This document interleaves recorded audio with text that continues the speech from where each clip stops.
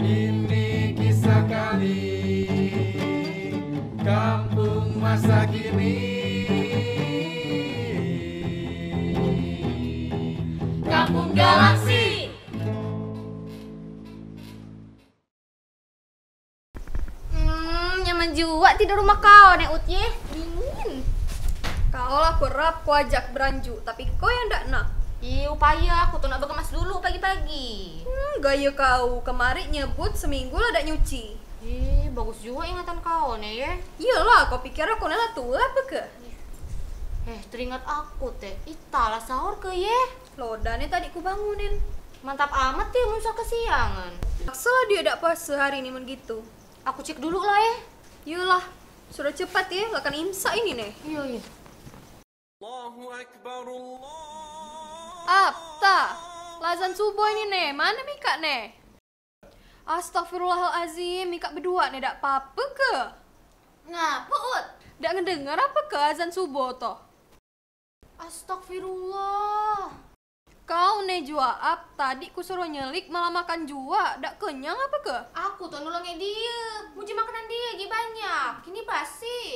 Basi pula alasan kau. Jadi, Ut, kame gimana jadi ya? Ya nak ki apa? Lanjut tek lah puasa Mika. Matilah, kame lu minum. Derita Mika lah itu.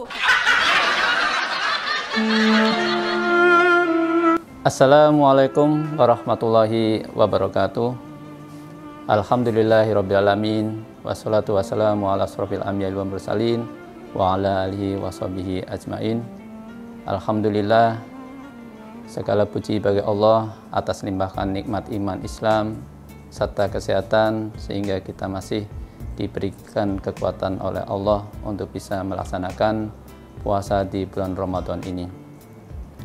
Sahabat Kampung Galaksi rahimakumullah. Kenapa Rasulullah sangat menganjurkan kita untuk sahur? Karena di dalam sahur itu banyak manfaat dan faidah. Seperti dalam hadis riwayat Bukhari, tasahharu fa inna fis sahuri barokah. Maka sahurlah kalian, karena sesungguhnya di dalam sahur itu terdapat barokah. Untuk itu, pada kita semua untuk tetap menjalankan puasa ini biar tetap semangat, diberikan kekuatan iman dan keteguhan, maka kita harus melaksanakan sahur meskipun itu sifatnya sunnah. Walaupun kita hanya dengan seteguk air minum. Terus bagaimana kalau kita berpuasa, kemudian sahur ketika azan sudah berkumandang. Para ulama mengatakan ketika kita sudah terdengar azan, sebaiknya kita berhenti makan. Terkecuali ketika kita sedang sahur, kemudian terdengar azan, maka bersegeralah menyelesaikan makan itu sebelum selesai azan. Itu untuk kehati-hatian. Semacam hadis riwayat Bukhari dan Muslim mengatakan bahwa Rasulullah SAW menyampaikan bahwa Bilal azan pada waktu malam, maka Rasulullah SAW bersabda, makan minumlah kalian sampai Ibnu Umi Maktum azan. Karena dia tidak akan azan kecuali setelah terbitnya Fajar Sodik. Kampung Galaksi Rahimakumullah.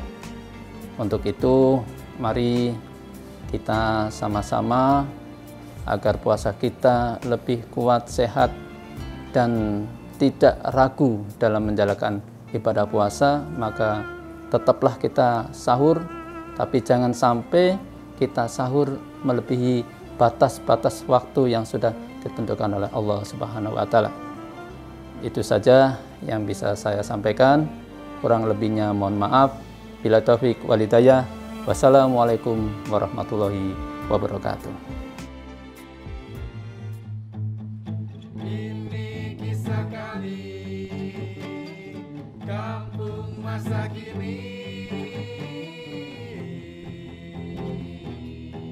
Kampung Galang.